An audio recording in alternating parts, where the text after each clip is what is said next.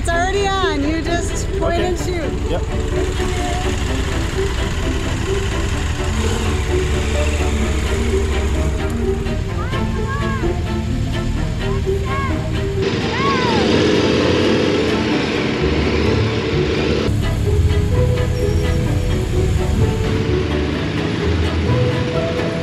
No! No! It died.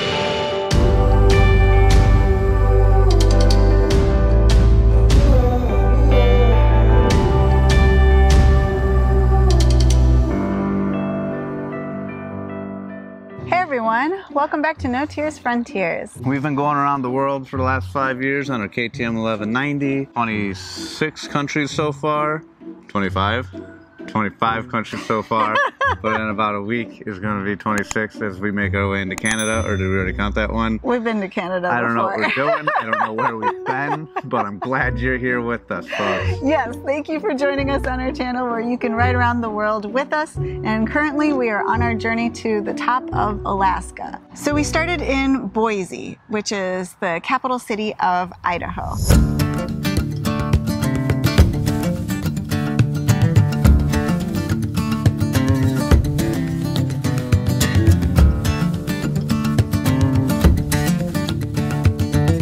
An amazing time, but it was time that we head out to the Overland Expo in its inaugural location that was Bend, Oregon. That's right. Red, Redmond, Oregon. Redmond. Well, they're right next to each They other. are. Good morning. Tim and I have been staying in this lovely camper van, and now we are packing up and heading off to Oregon, which we've never been to on the motorcycle. I've never been there before at all. Heard amazing things about it, and we're going to the first ever Pacific Northwest Overland Expo. So, we're very excited. Idaho. Overland Expo Pacific Northwest. Here we come. So this is the first time that the Overland Expo was going to have it at Pacific Northwest location in Bend, Oregon. And they had been planning this for a long time. Unfortunately, it didn't work out for years, but now it was finally happening. And we were super excited.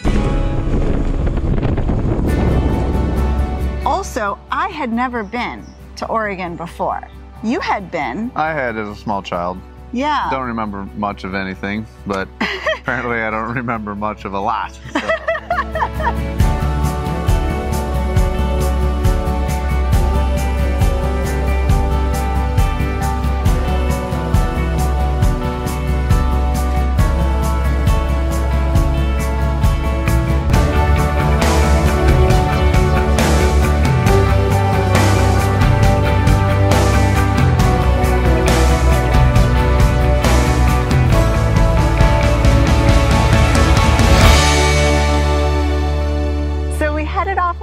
morning from Boise, and right before we left, our friend Brandon said to us, Oh, just by the way, don't forget to get gas in Vale because Oh, there's yeah. a huge stretch without uh, any gasoline. Yeah. And we were like, Oh, yeah, sure. Thank you so much for that information. But in the back of my mind, I was like, Yeah, we've been through I was Patagonia. like, dude, we've been across Argentina. but sure enough, jeez. wow, I yeah. was running on empty.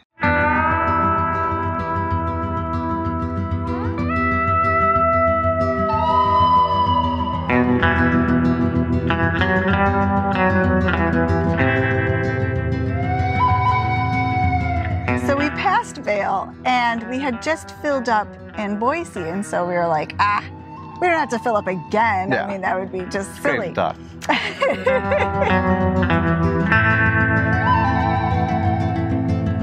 We kept going and going and going.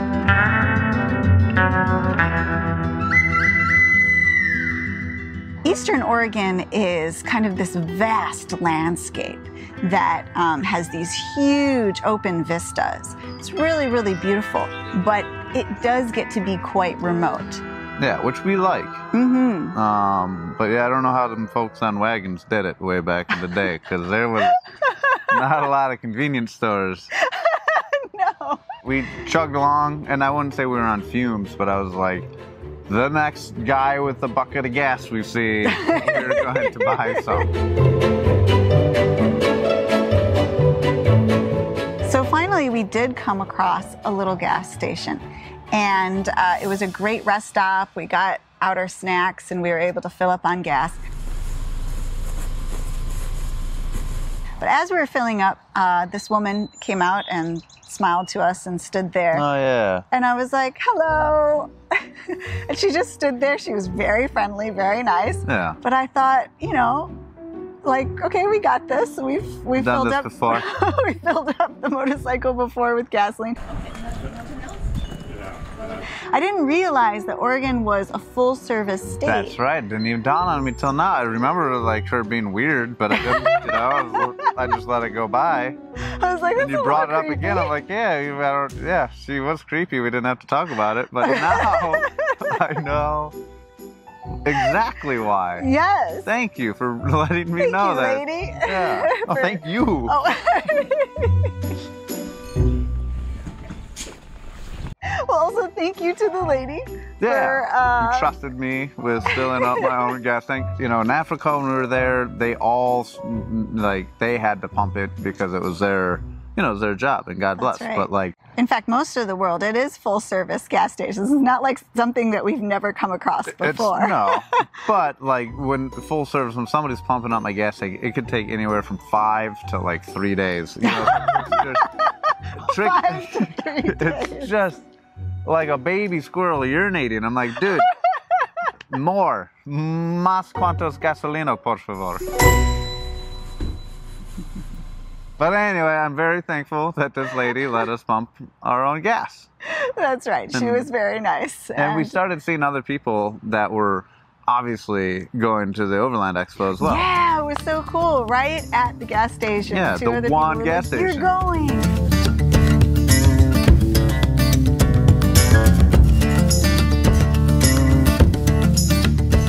Gas station, we had a bit more of a stretch until we got to Bend, Oregon. It was beautiful, beautiful scenery.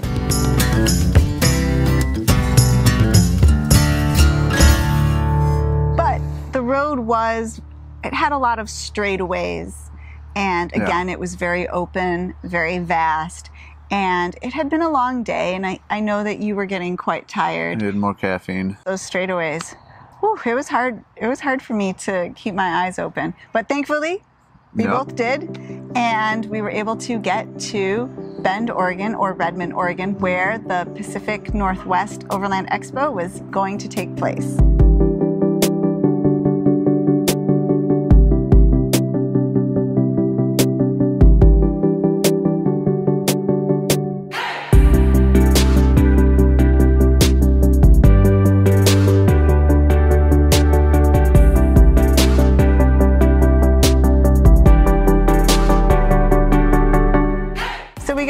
We got to the moto camp area. Immediately, I noticed, wow, there is a lot of beautiful green grass here. Oh, for sure. This is And very amazing. We're not us. knocking Arizona or Colorado or Virginia head grass as Mm-hmm. well, but it was quite dusty. Yeah, very dusty. You know, they're venues that are, you know, they're used for expos and trade shows of all sorts, and so Mm-hmm. they're not, you know, but botanical expos by any means. the But grass is at a premium. it is. But here in Oregon, oh, grass was the law of the land. It So was amazing. Green, green. And not just that, but you could see these snow capped mountains Yep. all around the expo. It was like they were being showcased in the distance. This is true. And uh, the mountains are out of view over here, but let's get, let's do a whole yeah. walk around the bikes. Nice. Pretty, pretty mountain. Yeah, we had the Three Sisters and then Yeah, the The Bachelor. Bachelor. And then there was like a broken top or something. Um, Crooked Tooth. Yeah. Three-toed Simon. nope, that one wasn't one of them. Some of those I made up.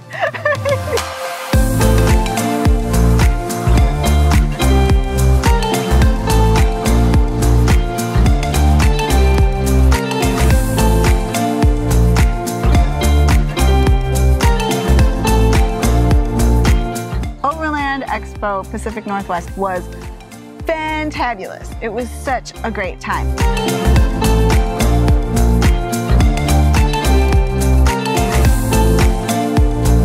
We got to see lots of old friends Yeah. and made some new friends.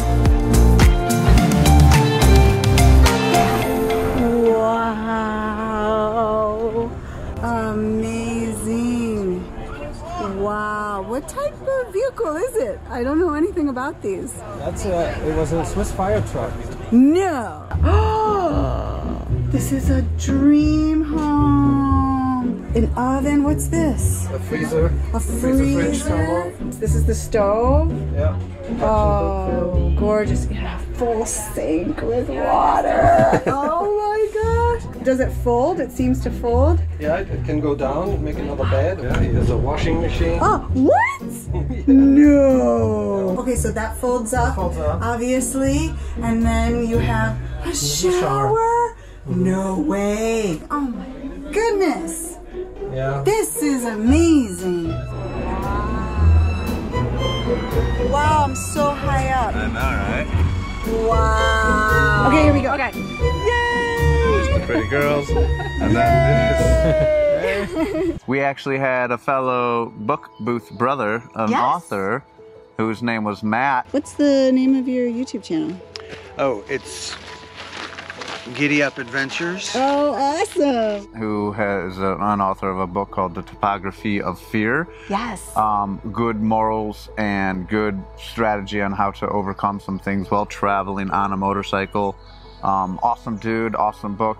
And I wish my book had the same, like, a, a good, strong message in Mm. it, besides just you can go out and have fun and it's amazing and here's some humor. But he's he's got a good uh, point and a good message that I, would- I would like the world to to to be able to absorb as well. Absolutely. I think every single one of us struggle with fear at some point in time, especially traveling. There's so much of the unknown and fear, anxiety, all of that is a major theme of his book. Yes, they call me No Fear Notes here. Do they? No, no, I call myself that sometimes, Oh, okay. but I don't tell anybody because I have a fear of public speaking. Oh, yeah. So it's kind of contradictory. That's the word. Well, moving on. We also saw our good friend Amanda Zito. Yeah. Oh,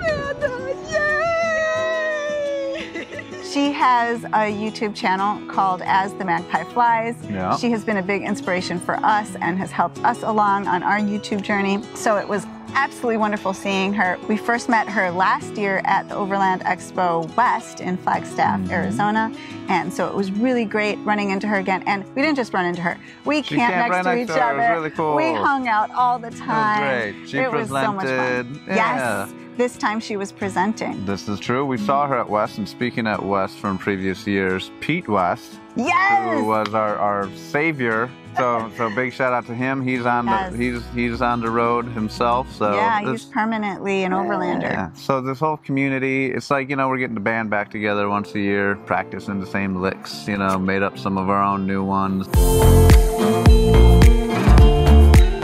Outdoor eats. Fast, We easy, have- and tasty recipes, all 10 ingredients or less, 30 minutes or less, pocket-sized cookbook so you can just put right along with your rig.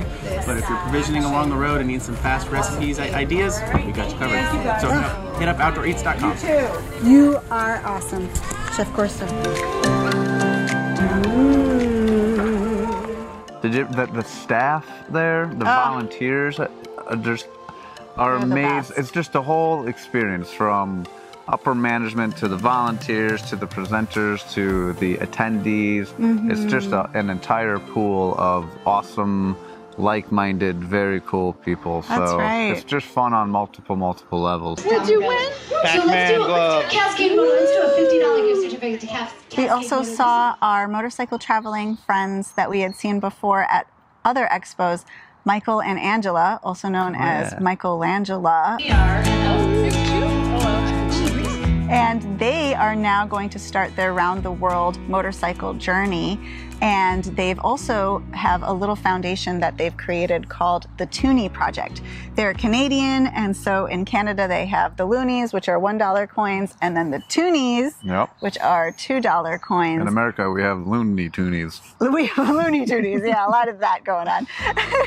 In their foundation, they are raising money two dollars at a time. The money goes straight to orphanages all over the world that they will be visiting and volunteering at. Yeah, so a bunch of good people doing great things. And Yes. then there's us. And then, you know, you know, Bill Dragoo, love the, the gentleman to death. He's there. So it's good to see Dart training in action. Absolutely, and his son Ben. And his son Ben, you know, giving presentations, meeting new people, trying to make some of them laugh, some of the jokes bombing, some of the jokes doing all right, you know. But That's uh, right. overall, just a really good weekend of you know selling books, and it wasn't about selling books. You know, it was, No. a, it was a good weekend of you know just getting in front of people and being just as excited as as they are.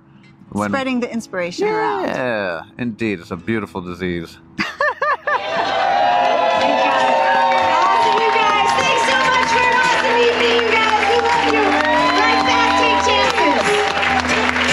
chances. One of the highlights of the expo for us was this motorcycle competition Yeah. thing that they had on the last day.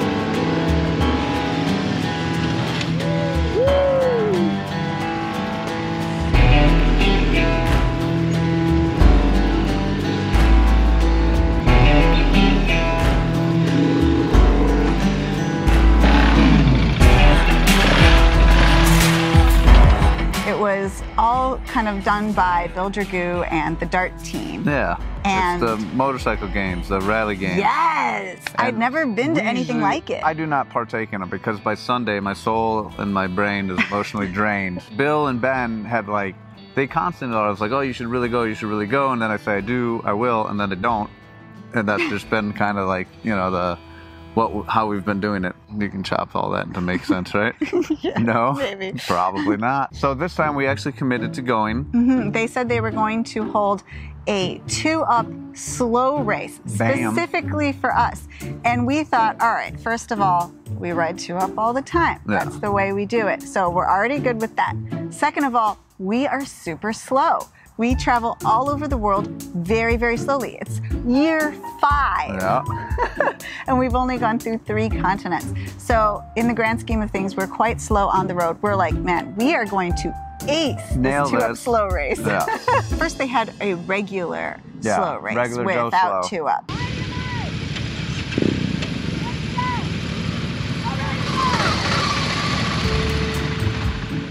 Yeah. And you participated in I that. did, and I did all right. yeah. I got in fourth, I think.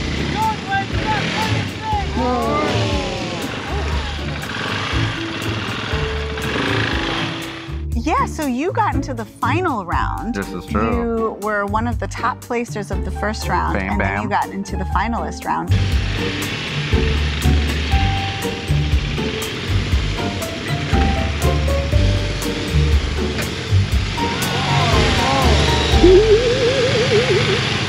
You we were giving away prizes, and I didn't want to win my own book, so I'm just going to throw it out there that I threw the game. I threw Oh, it. right. Yeah. and, and I'm on a KTM. It's ready to race. It's not ready to slow.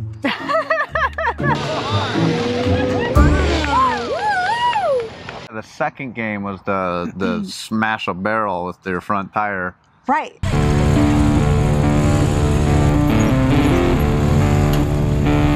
So the point of it is to move the barrel along in a straight line, and whoever moves it the farthest in the straight line wins without falling over or putting their foot down. Yeah. But what I I touched the barrel and it it knocks to one direction, and then I safely pass it and go the other direction. And Yeah. I, f- I feel like that's how you should overcome obstacles. You shouldn't try to continuously hit the same log that's blocking you in your single track.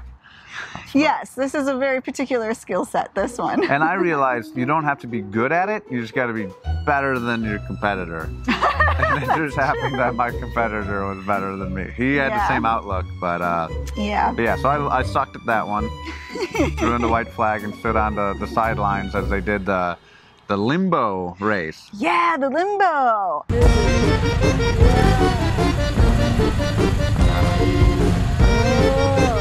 That is really cool to watch. It's so amazing to see these phenomenal motorcycle limboers just ducking really low underneath their windshield. They're taking their mirrors off. Doing, a Superman. doing the Superman. I mean, they are just yeah. so impressive.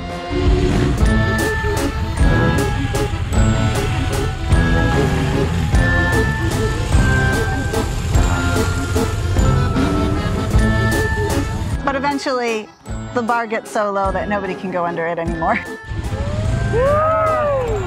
got a shot. Bears, look at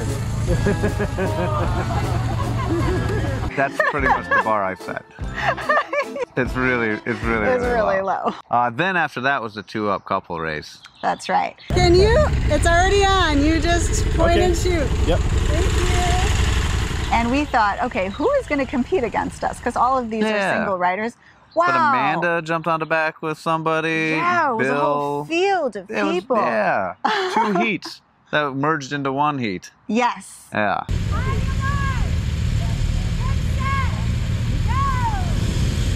So we headed off, you know, very slowly. Yeah.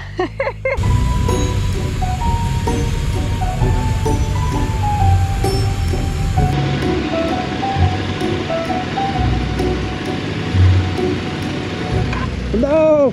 No! It died. And unfortunately, I you stalled. stalled out. I did. I was last. I was I was We first last. to suck, which is last place. We we were last in the slow race in a bad way. And then like I went to the sidelines in defeat and sadness, and I I cried a little. But then there was gonna be another heat of the Yeah. same. But it was just like They a, were like, try again. a- a- yeah, a pity party for me, and so I did it again.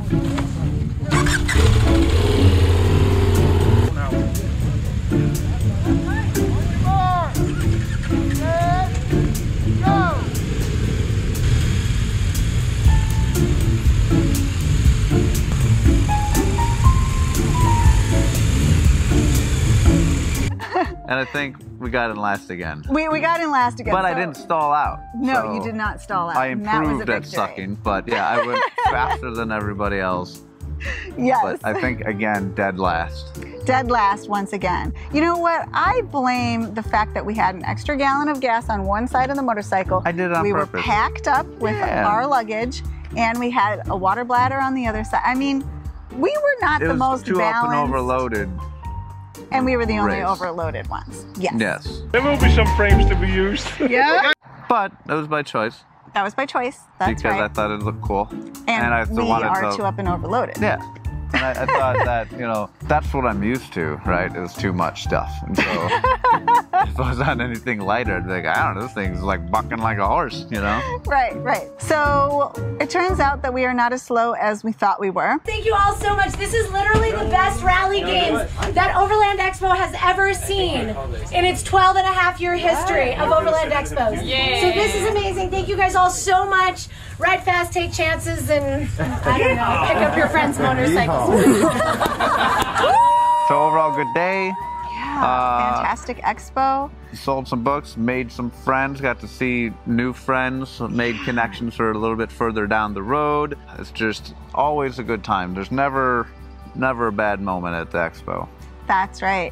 And one of the friends that we met at the expo, Maddie, Yeah. who had the book The Topography of Fear, invited us to go on some roads that were some of his favorite Yeah. roads in the area since he is from He's an Oregonian. Oregon. That's Yeah, right. This is true. And so that will be in our next episode. And I hope you liked this one. If you did, please give us a big thumbs up and hit the subscribe button below. Ding ding.